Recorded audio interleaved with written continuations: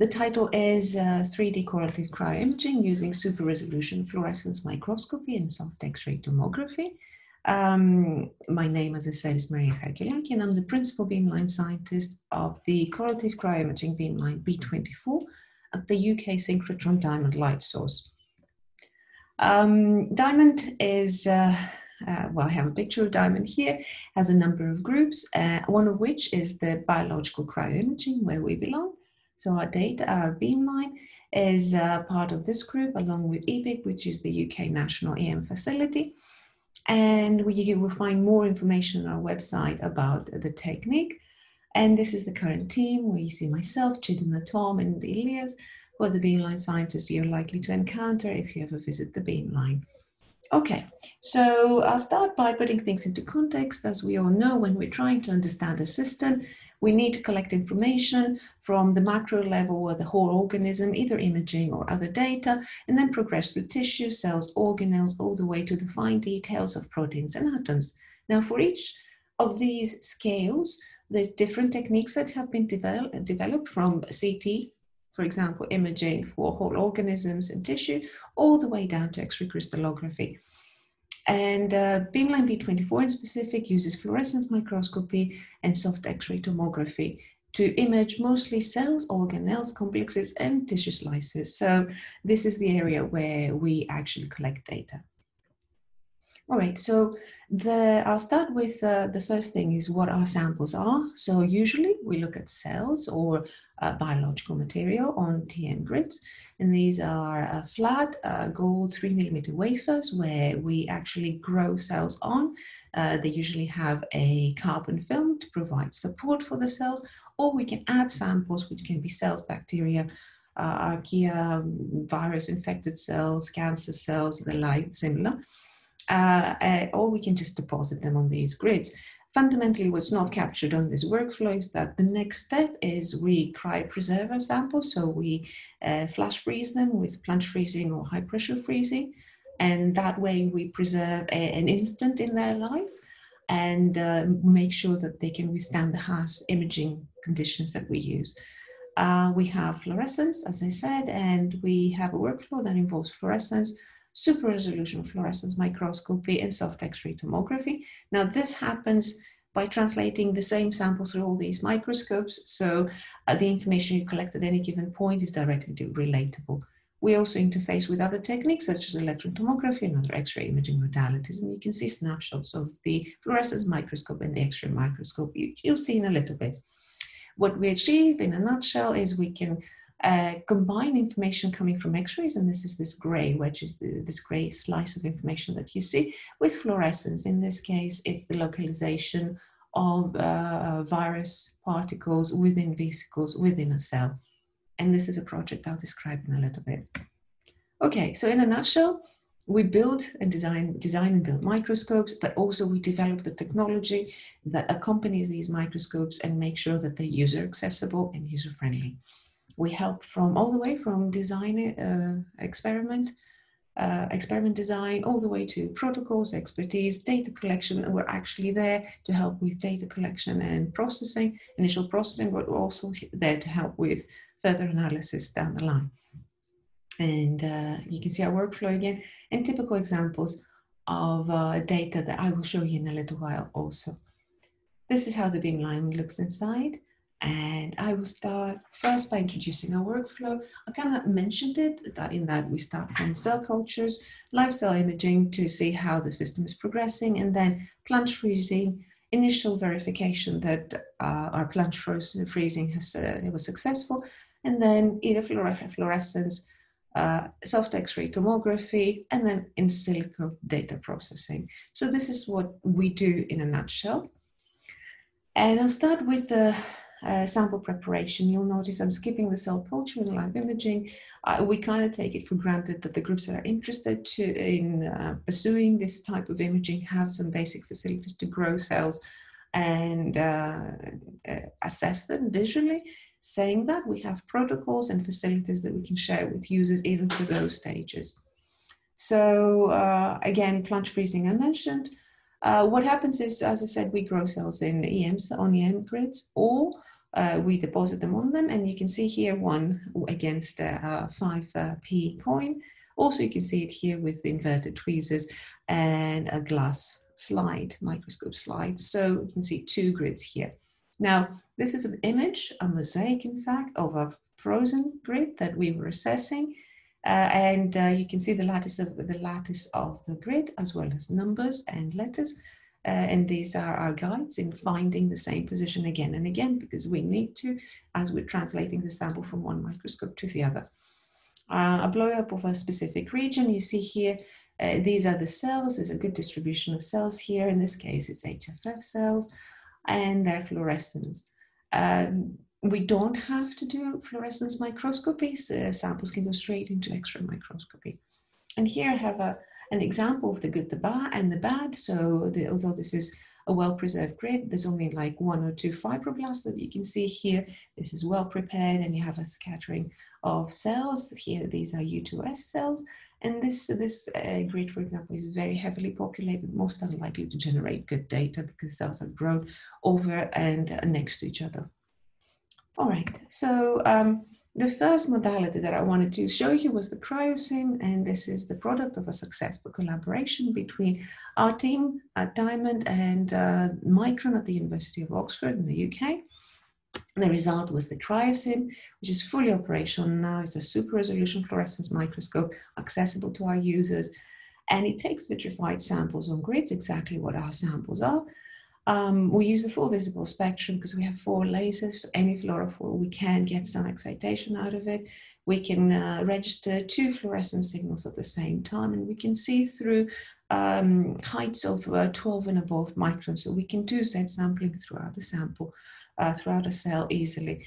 Uh, resolution to less than 100, uh, well, 175 to less than 200 nanometers, and it's now fully commissioned. We also have cryotistome capability with much better resolution, but it's still under commissioning. And what I've shown you here is an example of a PS-Speck bead of 175 nanometers uh, fluorescing in green and how much better we can get the signal once we process it with cryosim. And again, the same thing in a cell, the specific cell you will see again. And you're looking at a cell where some of the vesicles are fluorescing red and uh, how it looks with conventional microscopy, bright field, but also the fully processed cryosim. Um, this whole setup has been uh, reported in a recent optica publication, as you can see here. All right. Um, so at the cryosim, we normally start data collection with bright field, and I'm using one of the Beamline projects and studying the cytoskeleton. Uh, so we're going to see here um, First is a bright field in this area. We're actually going through Z, uh, Z slices through a cell, and we've gone through it and ended up on the support film, which shows as a perforated film. Now, these cells, as well as most mammalian cells, are not extremely photogenic under white light. I'll show you again. So starting from the top, going through, although you can see the general shape, they tend to be mostly transparent.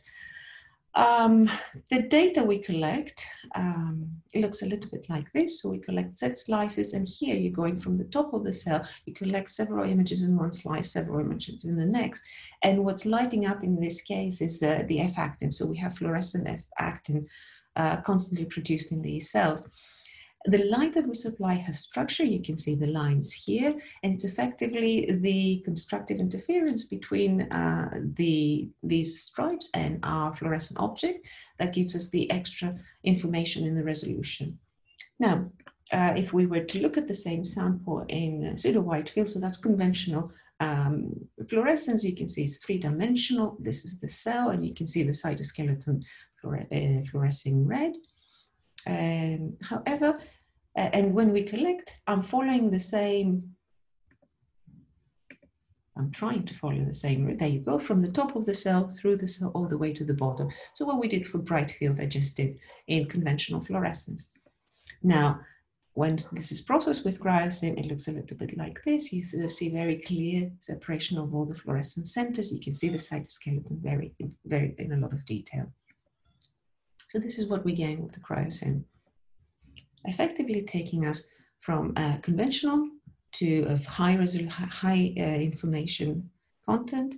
And then we can focus on specific areas. For example, here, let's say this was the area that we were interested in the filaments and the actin filaments. And of course, this is entirely three-dimensional. All right, and in this project, we were studying a number of mutations to try and see the effects, but in conventional uh, wild type cells, you can see the um, characteristic spread of the cytoskeleton, of the F-actin cytoskeleton in the interphase and mitosis. These are U2OS cells, by the way. All right, so we'll move on to the next microscope, and that's the soft X-ray uh, microscope. Uh, if you were to enter the X-ray side of the beamline, it looks a little bit like that. The microscope is at the far end, and these are the workstations that control it. If you were to turn around 180, you see this, this area, which has changed slightly, but it's a fully fledged um, wet lab, category two wet lab here. Our beamline uh, gets light from a bending magnet, we have a single mirror toroidal mirror that focuses and directs light. We have a monochromator, but then the microscope itself, itself has a typical components of any microscope, only it's uh, X-ray specific. We have a capillary condenser and a zone plate and a detector that collects the images. And here you can see the B24 team at the workstation that control the microscope. Um, so what is soft X-ray tomography? So it's an imaging technique, it's a 3D imaging technique. You get volumes of information and it, that allows us to see the ultrastructure of vitrified cells at near native state because we plunge freeze them.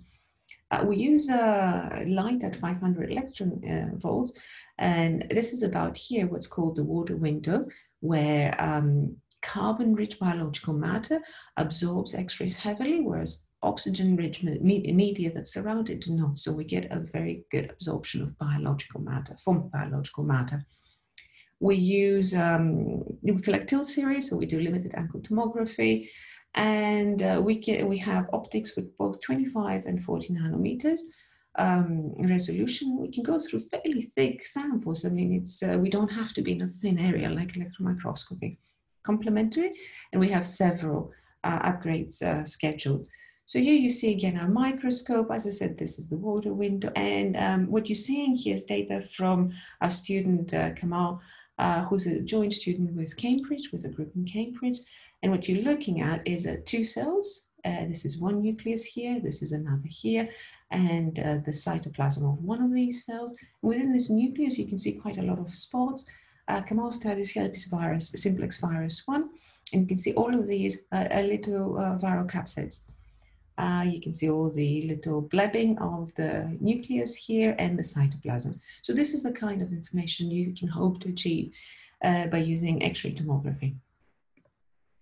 All right, inside the microscope, uh, and I have to say that all of this is engaged in a metal box because uh, soft X-rays don't, don't travel well in air, so everything is under high vacuum and cooled via conduction, because remember our samples remain cold throughout this process.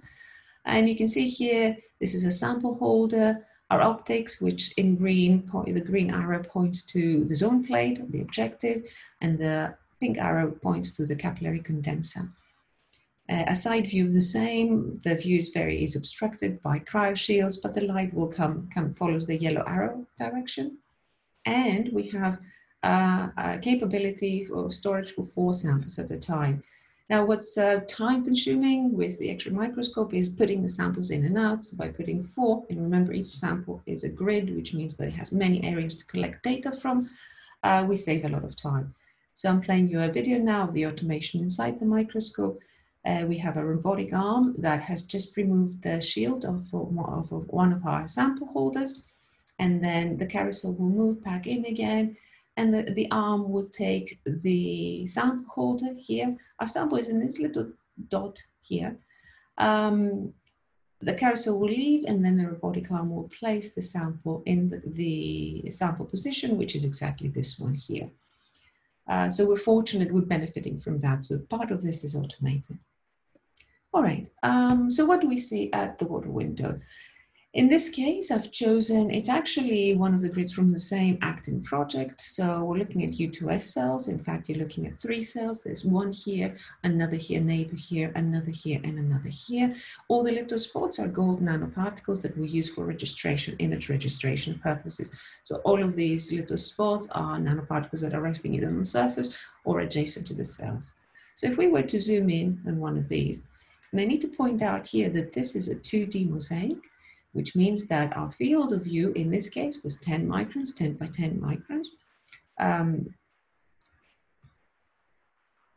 yeah, actually this, sorry, this bar, I was looking at this bar, this bar should be a little bit bigger. And the data that we collect here is about, looks like this. These are projections as we tilt our sample with respect to the beam.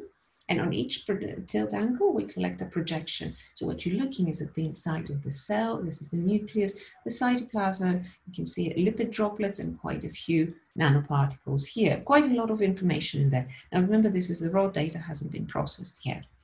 Uh, so once this is done, we process the data. At the Beamline, we use iMod currently, which is a standard sort of tomography software. There's a number of other software packages that can be used. And what you'll see here is the tomogram of this area of the cell. As we go from the top through it, you'll see quite a lot of organelles, all the way to the carbon film, the perforated carbon film. So if we start it, starting from the top, you're seeing mitochondria, quite a lot of uh, endosomes, multivesicular bodies, uh, clearly delineated uh, mm, endoplasmic reticulum. We've now reached the bottom. You can see the holes of the quantifoil, and then we're going back up again, um, lipid droplet and the nucleus here. So the amount of information you can collect from cells is incredible. Uh, and a little bit or more obvious, I've, I've, labeled a number of organelles here. So this is the sort of information we can get. And of course, it's three-dimensional, which means that we can actually follow the shapes of mitochondria, the R contacts, and as well as the endosomal pathway. We have two facilities at the beamline, two setups at the beamline. We can use 25 nanometer resolution. It's fantastic resolution, but a very, very small uh, depth of focus and smaller field of view. Uh, but then we also have 40 nanometer resolution, which gives us a much bigger field of view, um, but also greater depth of focus. So we can get uh, a lot more information with this one uh, at a small sacrifice in resolution. And here you're looking at the cell. It's from a similar population. It's from a different project, but it's also U2OS cells. You're looking at the nucleus here, uh, a big endolysosome, and then mitochondria, a lipid droplet, and other information. Okay, so correlating microscopy. So I've shown you two microscopes. The idea is that if you can bring these two together, you get a much more powerful microscope, a much more powerful uh, technique. So we do that by combining them and by using the same sample in different microscopes. And I'm going to use here um, a recently published example from our beamline. Um, and uh, we looked at uh, tracking events, early events in the infection when it comes to reovirus. We were using mammalian cells, we were using again U2OS cells. It was entirely accidental, but it's the same cells as the actin project that we were looking at. And uh, reovirus is a model virus. Um, it's a relatively, uh, um, it's well used as a model and uh, it's not necessarily a, a, horrible pathogen, although it has some pretty nasty relatives. Now, reovirus uh, infects cells by um, you know, more, more than likely clathrin-dependent endocytosis, where it sits on the surface of the cell and gets endocytosed. It ends up in this little vesicle, which is fantastic because now it's inside the cell, but it's trapped within this vesicle. And uh, it was proposed that it's likely to be punching holes, whereupon uh, it releases core particles, you know, it, it manages to escape these vesicles and release core particles where they can go further and, and create progeny. So we were interested in tracking this uh, process and seeing when and how this happens. Does it affect the shape of the vesicles? So we used our platform and this is a graphical example of how we go from multiple fluorescence to bright field to X-ray all the way to producing a three-dimensional um, uh, correlative uh, imaging uh, volume. In this specific case, I'm showing you an example of one of the grids. You've seen it before. This was a frozen well. And when we checked on the fluorescence, uh, I've, zoomed in on the cell that you've seen previously also. Um, I need to point out that this is a grid filled with cells that are all infected with reovirus, and the reovirus had been tagged with green fluorescence. Some of these, though, endogenously expressed fluorescent Gal3, which is an indicator molecule we used because it should normally be diffuse in the, in the cytoplasm. But when uh, the vesicles that contain uh, uh, viruses get uh, compromised, get, uh, you know, start open breaking up, it gets the, oh, it has the opportunity to swamp, to, to quickly rush inside these vesicles and gets immobilized there. So it's a good indication, indicator of uh, whether or not the vesicles that we're looking at have been somehow, have their membrane somehow either with holes or has completely broken. So you're seeing this one uh, cell uh, expresses fluorescent uh, GAL3 and you can see that it's localized in these vesicles. So by this stage, the virus has certainly escaped these vesicles. All right, so we've done a series of tests and this is one of many repeats uh, where we looked at cells either as mock infected, so no viruses, and then with viruses, one hour post-infection, two hours post-infection, four hours post-infection. In fact, we actually had three hours post-infection also. Now, all of this is, this, these events were expected to be happening sometime between the one hour and uh, three hours, uh, but we weren't sure. So um, you can see that as we track it, uh, virus is fairly diffuse here, galectins are fairly diffuse, but then after two hours, it's clear that uh, we find both green viral components as well as uh, GAL in these vesicles. And by four hours, we see these massive uh, multivesicular bodies and late endosomes forming, so which means that the virus, the core particles have escaped and any virus byproducts have now entered the um, either recycling or disposal route in the cells. Okay, so how we do this, um, so you're looking here at an X-ray mosaic, and if you see here, you you see the little lines. Uh, effectively, what we do is because our field of view is so small, we translate the sample and grab a snap at each position, and then stitch it together to get a mosaic. This is one square of the uh, grid, and you can see one, two, three, four cells perhaps more actually on the sides here and a great big crack in the way. That's mechanical damage. It happens, but it doesn't actually detract from the information. What we do is we take the bright field data from the fluorescence microscope and we use that to find our position where the two areas match. And then uh, we use the fluorescence we bring we use that as a guide to bring in the fluorescence and now we know that we've collected data in this cell here and this is how it superimposes with the fluorescence uh, remember, this is all in now starting, and then we go into 3D where we superimpose the high resolution tomogram. So on each of these boxes, we've collected high content 3D data with using the X-rays. You can see here the nucleus, you can see the big um, late endosomal vesicle. And that means that if we focus in an area, let's say we're interested in this vesicle, Based on this superposition, we now know that it's filled with GAL3, which means that at some point there was an escape of viral capsids, but also it's left with a number of viral byproducts, um, which means that are now have now entered its, the disposal route. This is information that neither of these techniques could provide us by itself, but once they're combined, it becomes much more uh, meaningful. So effectively by correlating, not only are we looking at here again, you're looking at a slice, a 2D slice from a tomogram of a cell. This is two hours post-infection where we found loads of multivesicular bodies. In blue, we point to the nucleus, in green, the cytoplasm. Uh, and you see multivesicular bodies as well as areas where there's very, a lot of uh, very dark areas, meaning the high content of carbon. So we see concentrations of carbon, very distinct features. I've marked with the yellow arrows the interface between two cells here. But when we superimpose the fluorescence, all these structures, like here, for example, become very meaningful because we know that these are uh, viruses or viral components. And of course, this is 3D, the same uh, information. This is from a four hour post infection. In fact, this one here is this vesicle here.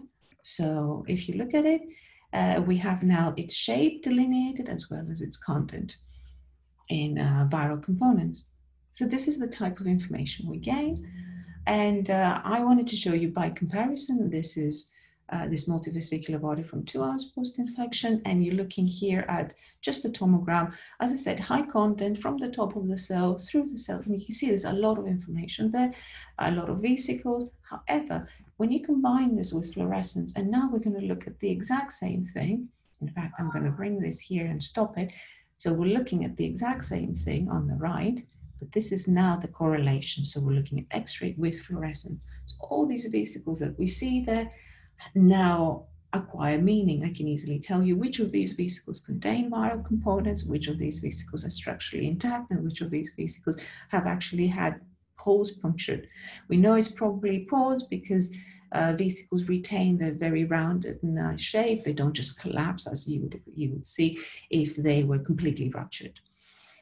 All right, so this is what we gained from using that. Um, so I'm going to wrap up by giving you a little bit of perspective. Our team is entirely interdisciplinary, you have biologists, physics, uh, chemists, and we benefit from interactions with engineers, optics and synchrotron radiation experts. We very much are entrenched in the development communities, both in X-ray microscopy as well as correlative schemes across the synchrotron itself, as well as super resolution fluorescence. And we aim to uh, automate and improve data acquisition and processing. We're fully engaged with the research community. We have our own research projects and quite a lot of joint studentships.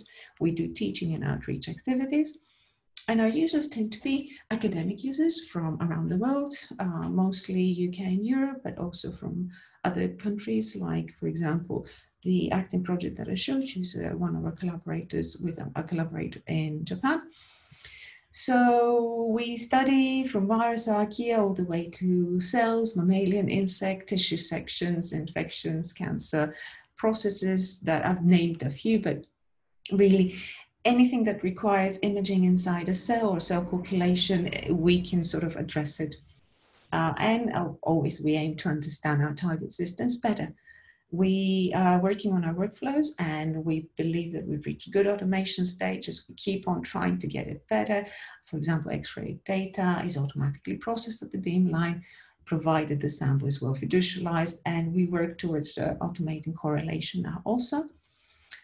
Uh, to access the facility that I've just shown you, um, we have uh, two routes. There's the standard access route, so groups are advised to get in touch with us, discuss projects, accessibility needs, and then they apply for, through a peer review um, um, process.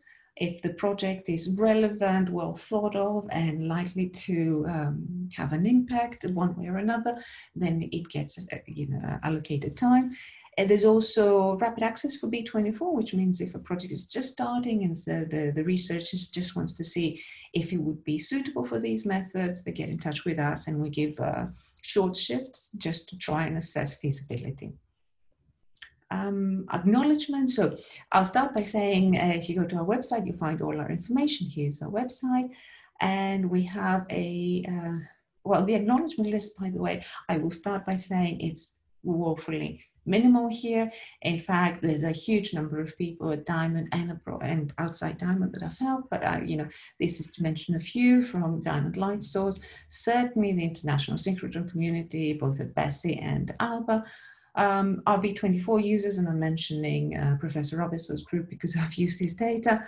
And then uh, software development, both on site and uh, from Micron, but as well from Europe.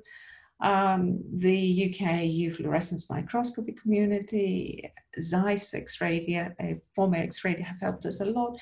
But to be quite honest, this whole thing is uh, based on uh, a wonderful user community. People have put up with a lot, helped us develop, gave us direction, um, used our, facilities. So really, ultimately, it's the user community that shaped this beamline. And uh, I'll leave you with our contacts. Uh, we're all you available to, to talk. Uh, this is us again, our emails. Uh, we have a, a, Twitter feed, so we try to keep our community updated. Our research, recent research highlights, and um, this is it. Um, thank you very much.